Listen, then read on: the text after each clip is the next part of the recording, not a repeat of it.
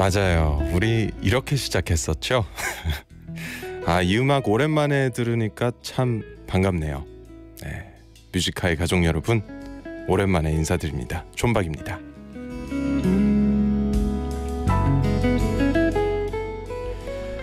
어서 오세요.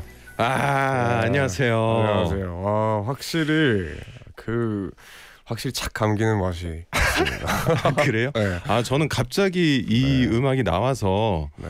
지금 웡디의 방송이 시작하면서 되게 그루비하고 힙했는데 네. 갑자기 좀 올드해진 것 같아서 좀 죄송하네요. 예. 아니에요, 아니에요. 이 시그널 음악 왜 우리가 썼는지 잘 모르겠습니다. 저는 약간 한수 배우는 느낌이 있었어요. 아뭘 이렇게? 이렇게 읽어야 되는구나. 그런 느낌이 있습니다. 네. 에이, 고맙습니다. 고맙습니다. 많은 분들이 지금 거의 눈물을 흘리면서 반겨드리고 있습니다.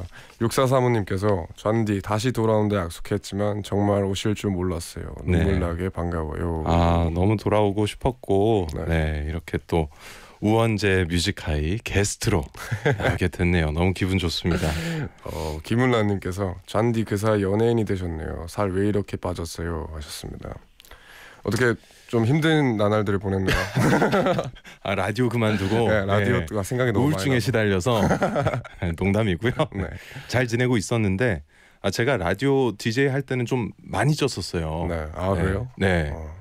항상 늦게 퇴근하고 야식 먹고 아 맞아요. 어, 물론 제가 라디오 탓을 전부 하는 건 아니지만 네, 네.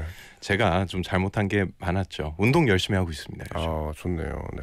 지금 또 이제 어떤 분이었죠? 이지연님께서 뮤지카이의 구현 DJ가 한 자리에 있는 방송 네. 하셨습니다. 아 그러게요. 네. 또 이게 또 기분이 묘하네요. 아 묘해요. 네. 저는 굉장히 묘합니다. 어.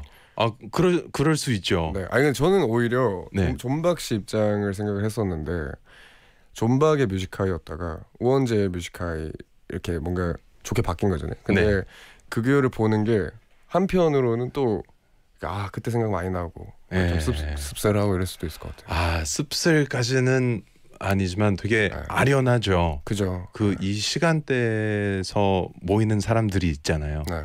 네. 그 사람들을 갑자기 어느 날부터 못 보게 되니까 네. 아좀 크게 오더라고요. 네. 아까도 저희가 이제 방송 들어가기 전에 노래 나올 때 얘기를 잠시 했는데 한 한 달은 그래도 좀 편하게 있다가 그 다음부터 네. 엄청 막 라디오가 그리우셨다고. 예. 네. 아, 지금까지도 계속 이게 증가하고 있어요. 나의 라디오 욕심.